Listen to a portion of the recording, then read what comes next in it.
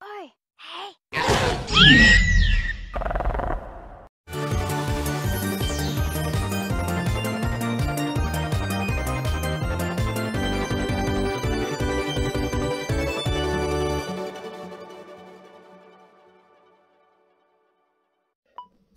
Time for another news and update video. Let's go. So, uh, by the time that you're watching this video, the update for Jua should be tomorrow, and that's when I'll do the video on it, covering, um, probably the Battle Pass and whatever else is available, because I assume all the other creatures will be locked to a specific zone that I cannot obtain, and everything else is an event exclusive. So, yeah, I'll just cover what I can in that update.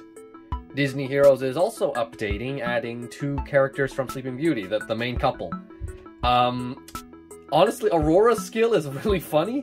Can't wait to up. That'll be on the same day as the Jua update, so look for that tomorrow as well. Actually, today I'm going to be making a video with Indominus and Orca on, uh, well, the you'll find out on his channel in probably a week's time. Hope you enjoyed the crazy amount of Sodor's dinosaurs that came out this month because, uh, gonna step back from that for a while and let some other content get some get, get a chance to like upload a lot. I think Movies United is probably going to be uploaded a lot more like starting this what we got I know I have at least 3 new episodes ready for like 3 like as in 3 re- version 2 episodes. I, I remade episodes 2, 3 and 4 and they're finally ready to be uploaded. And then I have a bunch of other. I, I, I could do the other remake episodes. I have footage for them. But I decided I'll upload because I realized that in this, from what I've, from the time I am in Zainreborn 2, a lot of people actually haven't seen Movies United. At least because I think the majority of the people who watch my videos now are not the same people who watched like, well, I, well, actually most of them are probably the same people.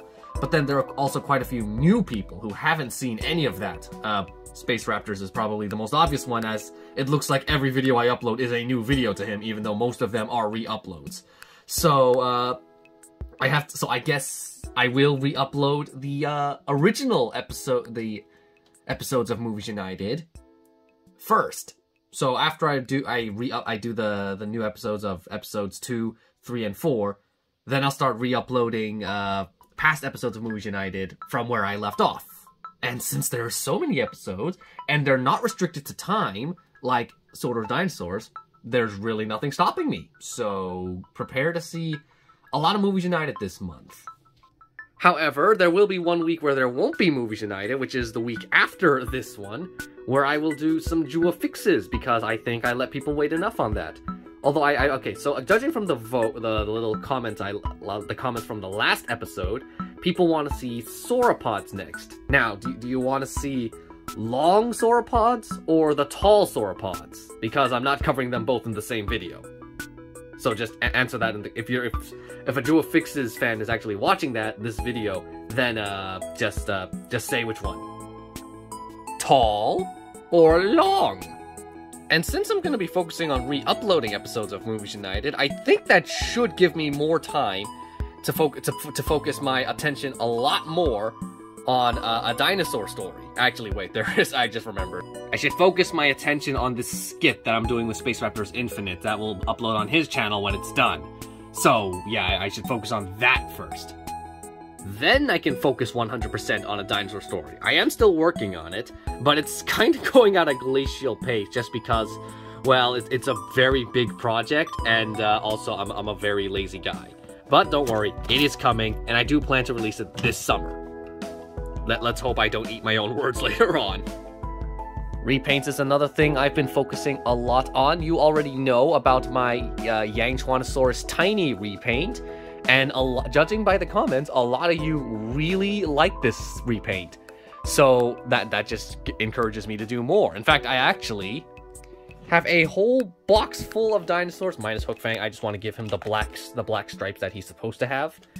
A whole box of dinosaurs that I'm ready to just repaint, give a dinosaur uh, king repaint. Although I do have some uh, not regular dinosaurs that I just uh, sort of just gave a touch up, like this Tarbosaurus here. This is honestly one of my favorite favorite uh, dinosaurs from Mattel, and I just thought, hmm, well, your underbelly isn't fully painted, and that's just basically what I did. I just took your belly and painted it all the color that it's supposed to be, and now you just look 100% better. And the painted toenails, and then a, even some little black spots on the little nubs in your tail. And that just makes the Tarbosaurus look a whole lot better. It was already really cool, but now it looks even more cool.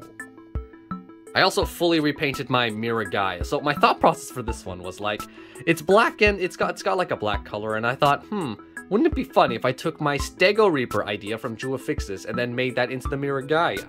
But then I thought, mm, but this guy's so small. Wait a second. What if I took Death? The, if I took Lord Death's uh, son, and then just made him like the like Death the Kitagaia? And that, that was basically my thought process. And then thus I made a Miragaia Reaper, a junior, junior Stego Reaper. I mean, I painted his toes. I gave. I, I, before I all I did was paint his like back with the black and that was it. That just made him look uh, like a complete figure already. But then I painted every. I painted all the spikes gray. I painted all of the plates white and gave him the the Lord Death sort of face, just to give him that little pattern. Painted over the white patterning on his eye and replaced it with, and even his eye itself, and replaced it with a yellow one. Painted his beak gray, and then did some dry brushing on the the legs. And just like Death the Kid, he only has uh, these little white stripes on one side of his head. Because Death the Kid is asymmetrical, which is ironic because he is obsessed with symmetry. Oh, my, bro- my brother's actually really waiting for me to do some random skit with this guy and just grab some Death the Kid voice clips and then just throw it onto the Miragaia. And then he'll just be like obsessed with symmetry or something.